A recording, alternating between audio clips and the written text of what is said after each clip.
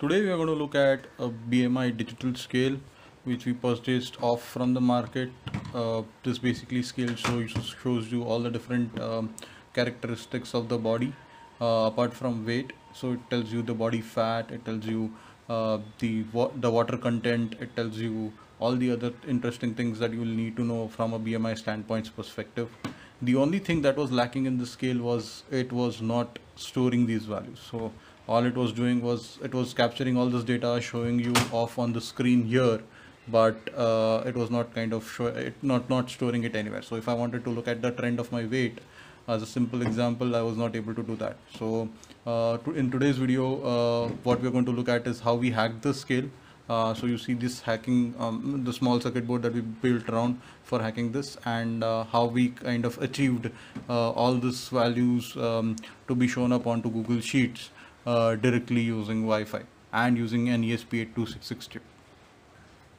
So let's look at the construction of the scale. The scale is pretty simple thing. Um, it has weight sensors uh, embedded in its legs, uh, which tells you the weight on the screen here. Apart from this, the scale also captures uh, BMI details that is via sending through electrical impulses through these steel pads whenever you stand on them. So whenever your legs come in contact with these two steel pads, uh, there is an electrical impulse and depending on the impedance uh, that it registers it tells you different parameters of your body like water content weight fat uh, all the other um, seven or six parameters that it kind of records so the whole idea behind hacking this scale was I should be able to get all these values up on my Google Sheet so I can look at the trend of the weight. So if I'm trying to exercise more, if I'm eating more, if my habits are good or not, uh, to take a gauge at the, uh, those things I wanted to uh, look at and um, I wanted to look at these values on the cloud or, or on the Google Sheet so that I can trend them. So the price of this scale was around about 1500 INR uh, if I'm not wrong and I bought this from uh, Flipkart. Uh, apart from that, these simple PCB that I made costed me around about another thousand bucks and I think for 2k approximately uh, INR, I was able to kind of hack this scale using this ESP8266 chip and put all the data that is that it shows on the display uh, via Wi-Fi onto Google Sheet. Uh, this is what we achieved and the hacking was again uh, something which was DIY it is not professional so you see all the tape, you see all the all the all the circuit board lying outside and stuff like that. Uh, also at the same time I, want, I wanted this to be battery efficient so that whenever uh, if I charge the battery up you see this is the small uh, BLC 5C Nokia's battery that I kind of salvaged from another uh, uh, phone. Uh, so this battery itself uh, should not get discharged. It should at least last weeks for me, uh, if not months. and that is what I wanted to achieve. So we did a lot of tricks for that and I'll show you all that detail in the schematics of this video. But then going around quickly through the build, uh, the build was basically around about building this PCB uh, which I ordered through PCB Power. Uh, I'll show you all the schematics and everything down inside. Apart from that, um, also there was a little hacking point wherein we had to kind of go through the internal circuitry of this scale and come up with this three three points which you see here.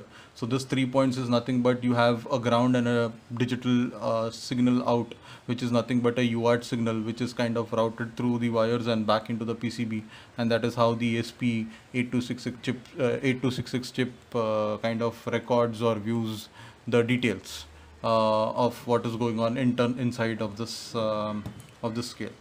So yeah, that's pretty much from the construction standpoint. It's, it was pretty easy.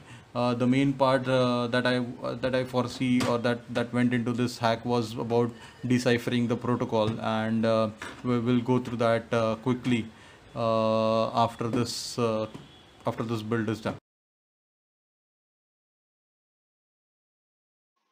Okay, in this section of the video, I'll quickly go over the setup required for this scale to work.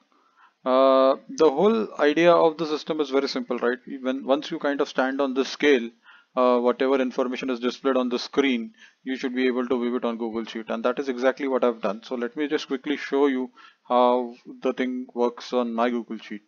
So this is the chart that is kind of rendered from the data that comes in. Uh, and this chart basically tells me what was my weight and how it was recorded and uh, you know how it went through uh, the different uh, different days and is it uh, so this trend line indicates is it climbing or is it decreasing or, or whatever. Unfortunately in my case it is climbing so I still have to take a look at it. But then the gaps in between these lines right the blue line is the real data and whereas the red line is the trend line that is uh, kind of constructed out of these data. But then the gaps in this data is basically where I, I did not weigh myself for the, those days. So this is like per day or per recording uh, whatever weight I've calculated and received and stuff like that. So this is in regards to the weight. So this simply gives you a, a detailed view of what is happening with your weight and uh, how it's trending over over a given timeline. Similarly it also captures all the other things. So uh, this is how it kind of puts the data in the Google Sheet. So whenever you stand out that scale, a new row is added and it tells all this information that is available to you. For example, in this case, uh, it tells me my weight is 88 kilos. At the same time, the fat was this much, the muscle, the bone density, and the total water water body uh, water uh, thing in my body was uh, percentage was this much. So all this accumulated, all this data can be very useful and insightful uh, with the help of date time, uh, date time, which tells me, you know, I can basically trend it and see what is going wrong or how am I doing fair or how am I faring uh, in, in, in terms of uh, weight with this scale. Uh, now switching back to uh, what exactly or what is there on that simple schematic. this this is the schematic for that board and it's very pretty simple thing.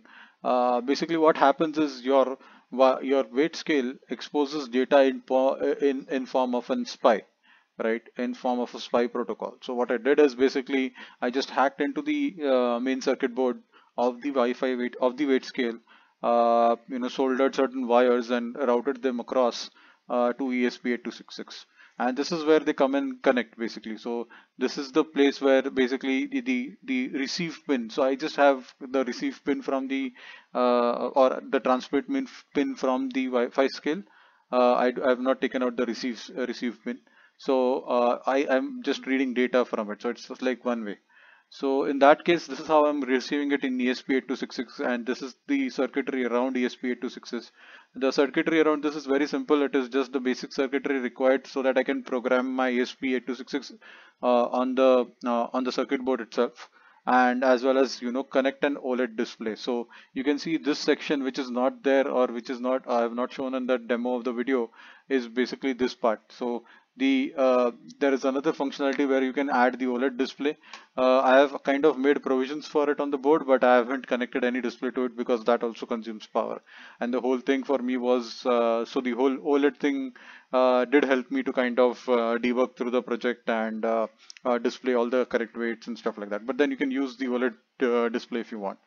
Uh, the next and the interesting part which is the main uh, circuit uh, for data for battery saving is this circuit this is nothing but a simple SR latch which is connected to the chip um, chip power down pin of the ESP8266 or the reset pin of the ESP8266. What does, what this does is basically it monitors the uh, incoming uh, TX line from the uh, scale itself and basically uh, uh, sets or resets the reset pin. So if the chip is in the reset state or in the power down state, it is not going to consume any power. So it comes around, the, the consumption actually comes around to 700 microamperes uh, when it is not doing anything.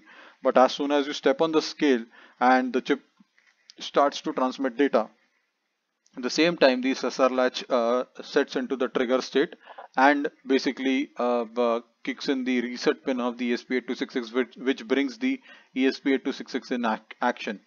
Once this comes into action, it starts reading the data on the serial bus uh, on the UART pin and basically then uh, kind of uh, you know collects all that data and sends it out to the Google Sheet and this is where basically it is recorded on the Google uh, Google Sheets database. So this is basically like a database and uh, you can dump and you can weigh yourself how much uh, how many times you want.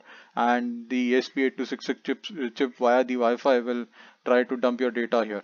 And after uh, once it is uh, dumped here you can basically derive charts like this uh, from your data and whatnot. So that's uh, that's the base intent of it. So once the data reaches the cloud or once the data reaches the the uh, Google sheet of your account you should be able to easily kind of uh, you know make trend lines and make charts out of it But then coming back to the Wi-Fi section, uh, coming back to the schematics part of this Wi-Fi digital scale, uh, there is nothing much to it. These are indicative LEDs which I uh, kind of uh, eliminated because of the power consumption that they were kind of requiring.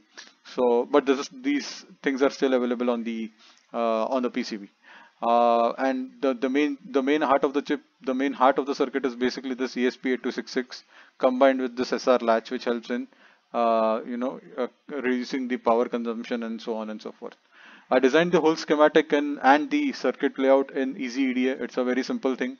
This is the circuit layout of that. Uh, this, is an online uh, web editor kind of a thing where you can route your circuits and put all the things required inside it. At the same time, um, I designed the schematic also in the same uh, EasyEDA thing. Uh, and obviously I ordered the whole thing via PCB Power, uh, which is basically very cheap in terms of, uh, you know, when you when when you require when you require very uh, easy uh, access to uh, making circuit boards for DIY purposes. So they are pretty cheap is what I uh, know for now. For now.